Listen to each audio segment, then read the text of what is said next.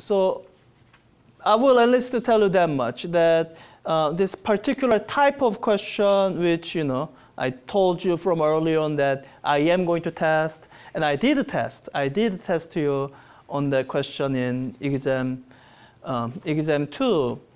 And so it's a question of, you know, am I going to ask that type of question again? I probably won't, um, at least, I don't know. I, I haven't written the final exam, obviously. Um, I will tell you this much. This very question, it is actually too involved for your, it was too involved for your um, midterm. So um, if I ever give this question again, I'm going to simplify way much. I'll probably simplify the density much more. But I think one thing that is worthwhile for you to make sure you understand is how to set this up. Because I think that's something I can imagine asking on the final. Um, so, you know, what I have to watch out for the final is how much ground we have to cover. So, you know, this entire question was on rotation alone. And I'm not sure if I can do that on the final. So, um, but what I can imagine possibly doing is asking someone to set up for the uh, mathematical solution. But once you have done the setup, then you know, then you know, like call that done, and the leave leave the the rest of the time-consuming work for like you know, if you actually have to do it for work or whatever. So in this case, this is what I think everyone in the class should know how to do. And if you are reviewing it, this is something that's worth reviewing. Uh, do I want to use what's written here? Let me just uh, highlight the parts that uh, parts of the solution that I think everyone here can get. It's a more matter of concept, not uh, working through the algebra or calculus. So this is a key step you need. So let me highlight this.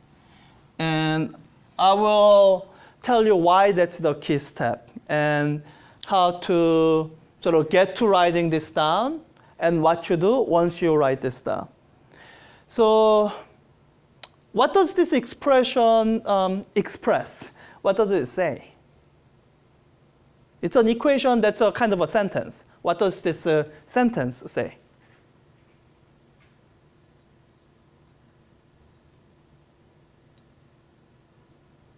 What does the left-hand side represent? It's not a derivative. It's a differential maybe, but I'm not asking you what is the mathematical form. Um, you know, you could have said the left-hand side is di. What is di? So what kind of physical quantity is it representing on the left-hand side?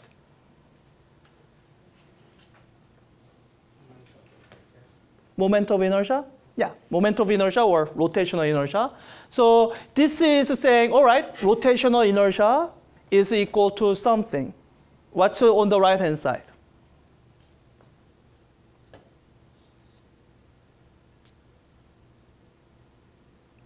What does dm stand for?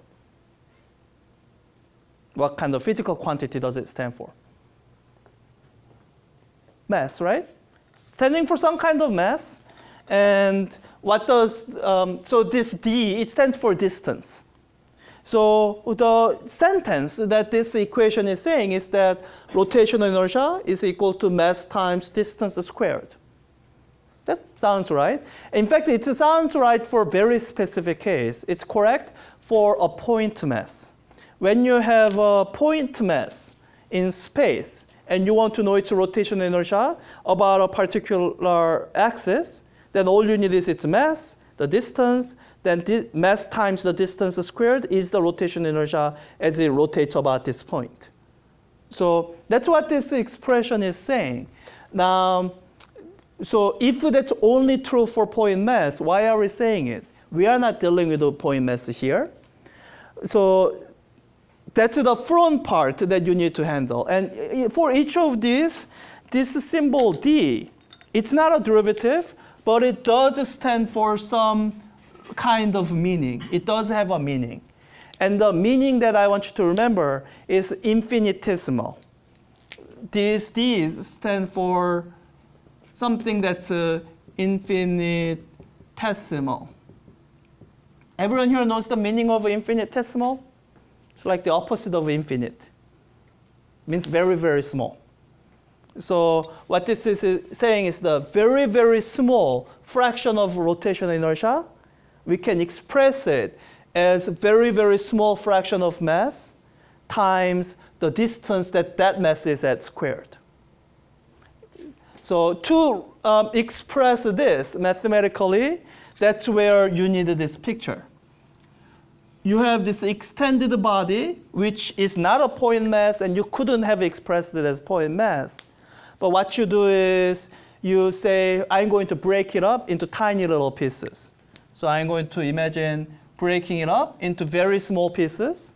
Say that this piece has size dx. And like that other d's there, this d stands for small. So very small portion of x. So when you take that small portion, it's going to have some amount of mass dm. And for this very small portion of the object, we can say that this contributes rotation inertia di to the whole thing. So that's the conceptual step you need to go through. This is something that your math class wouldn't, your calculus class wouldn't have covered. Because in your calculus class, what you would have is you'll be given this and asked you to do the integral.